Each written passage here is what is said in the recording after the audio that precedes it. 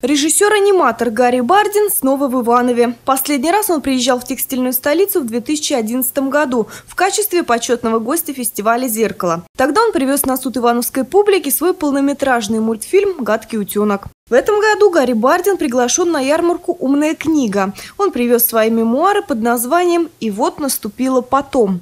Книга о детстве и о том, как пришел в профессию. Словом, описал все то, что когда-то пережил в качестве иллюстрации картинки из собственных мультфильмов.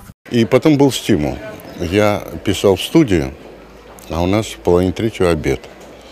И вот в половине третьего я иду на обед, а после чая мои коллеги ждали очередной главы. И у меня был стимул к половине третьего написать очередную главу, чтобы зачитать ее потом за столом. Ну, вот я за два месяца ее написал. Легко. Для ивановской детворы Гарри Бардин привез новый мультфильм «Три мелодии». Работа над ним закончилась совсем недавно. Это «Три мелодии», это э, три музыкальных классических произведения. Объединяет три э, сюжета только название «Три мелодии». Это совершенно три такие философские притчи в разных материалах, в разных техниках сделаны. Я делал его два года.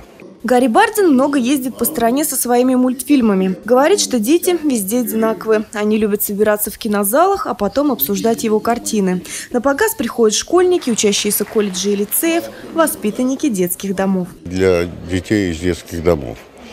И для них э, фильм «Гадкий утенок» оказался, в общем-то, знаковым, потому что они порой ощущают себя гадкими утятами.